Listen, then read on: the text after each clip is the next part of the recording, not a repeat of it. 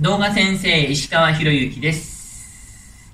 えっ、と、今回は手の使い方なんですけど、えー、なんだろうな、究極の手の使い方の説明をしていきたいと思います。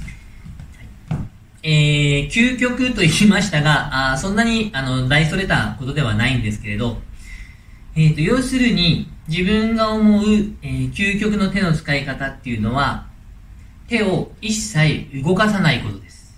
それが一番綺麗に見える手の使い方だと思ってます。どういうことかっていうと、えーと、よくあるのは手先を動かしてしまって、まあ悪い例でよく手旗信号みたいだねなんて言ったりしますけど、ね、手先を動かしてるからあまり綺麗に見えないと。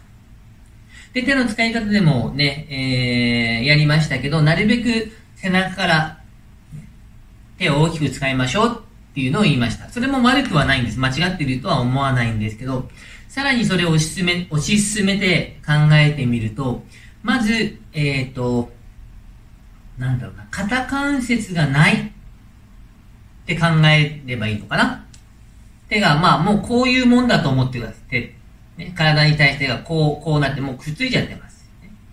で、えー、どういう風になってるかっていうと、これがそのまま、こうなってる。わかります？このまま、こうなってます。これちょっと表現として難しいんですけど、自分としては今これ手を動かしてる感覚はないです。ね、背中、か体をねじっている。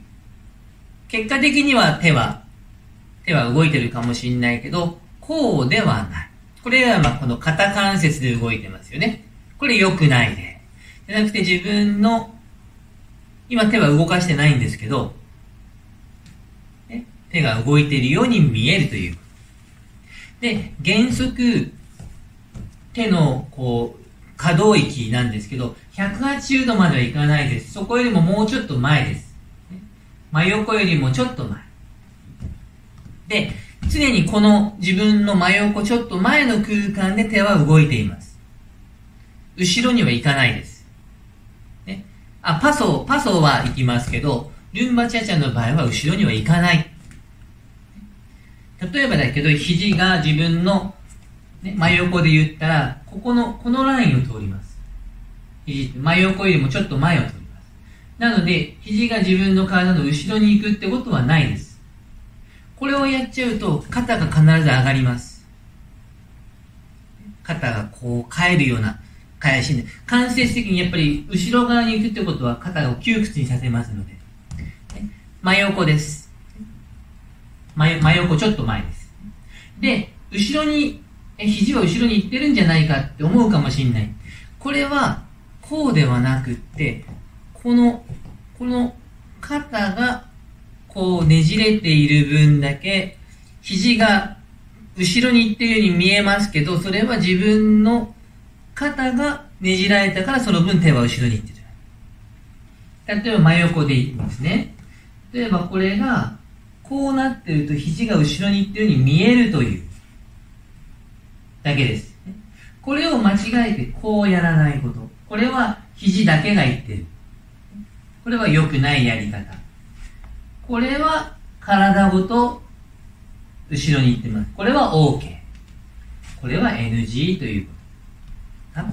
肘は後ろには行かない。自分の体の前側で使うと。ね、で、えっ、ー、と、手が真横ちょっと前とします。で、そうするとねじってもらうとわかるんですが、そう、大体横と前になるわけ。ね、横と前ぐらいになります。ぎゅっこれ実際に今度、ね、下半身の方の話とも関連はしてくるんですけど、お尻もこと逆方向にちょっとねじられてますので、そうすると、目いっぱいねじってその辺です。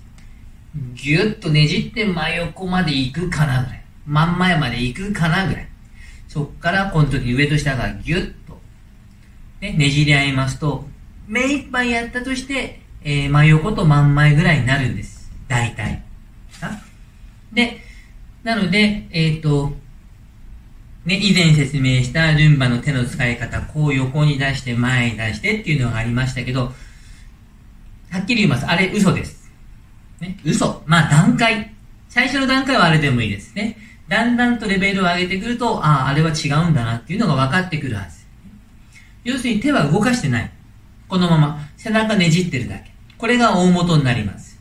ね、右乗ってこう、左乗ってこういうこと。ね、でもこれだとちょっと肘も伸びたままだし、ぶっきらぼうであんまりよろしくないですね。で、ここで、えっ、ー、と、例えば手出したってこれどうだったかっていうと、返して前っていうふうに、あの、以前説明してます。こんなことも本当はしません。ね、手は返しません。えーと、じゃあ、ちょっと、えっ、ー、と、今こう伸びたままでしたけど、ちょっと肘曲げてちょっと説明しますね。今度背中のムーブメントの話も出てくるんですけど、背中っていうのは結論から言うと、こう動いていきます。今度ね、上半身のムーブメントとか、ヒップムーブメントを含めてボディムーブメントとかっていう説明もしていきますので、そこでその時にまた詳しく言いますけど、今はまあ肩だけ言っておくと、単純に肩はこういうローテーションで動いていきます。ね、そういうムーブメントがあるんです。で、そのムーブメントがあるので、ね、えー、手がで、ちょっと、まあ、曲げたまま説明しますね。こう、こうです、今。で、このまま出ました。で、この方が下がります。ぎゅっ。ね。で、移動します。これは、ちょっとロボットみたいですけど、このままこうです。で、ここからこれが移動します。ぎゅっ。このままい、ね。ねじりました。今度右肩下がります。ぎゅっ。肩が下がるってことはちょっと後ろに回るんです。よいしょ。後ろに回し、落ちます。そうすると、肩が後ろに入ると、この手っていうのは帰ることになる。まあ、わかりますね。よいしょ。ね、で、それが前に行きました。で、今度こっちの左肩が下がります。っていうと、必然で右肩今度出てきますよね。と、この手が、こういう、ちょっと内側に入る、こういう動きになります。ちょっとへんてこなロボットですけど、このまま行きました。ガシャン、ガシャン。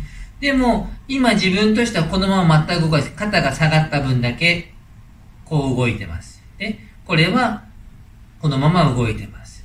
それを、まあもうちょっと遠くにやっていくと、一切自分は今手を動かしてないんですけど、手を動かしてる風になってきました。これをもうちょっと滑らかにしていくと、では今一切手は動かしてないです。わかります？こういう動き。ね。で、これが下がることによってこれが出る。こっちの肩が下がることでこの手が返る。ね。そこがあたかも手を返しているように見えるだけです。手先で返すんではなくて、自分の背中が返ったからこの手が返って前に行く。で、ここからお腹を通って出すなんて言ったけど、この肘が返って、この運動があたかも自分の手をお腹のところを通していくように見せてるだけ。一切手は動かしてない。極端な話、ね、肩に、えー、あの、骨折とか、ね、した時のギブスみたいなの、石膏のギブスで固めて肩が全然動かせないとする。ね、肩が全然動かせなかった、肘も全然動かせなかったとして、でもこれはできます。今、肩も肘もこのまんま動いてるわけなので、一切手は動かさなくてもこれぐらいのことはできる。なので、ある意味、ちょっと、究極、手を一切動かしていない、上手い人は手を動かしていないってことなんです。動いてるように見えるのは、それは背中を使っているから、ということ。なので、えー、他にもいろんなこう、究極の手の使い方はあるんですけど、まあ今回は、えー、このね、背中と腕をつなげて使っていく。手を遠くに使っていくとそういう感じになると思いますので、えー、練習してみてください。Let's practice.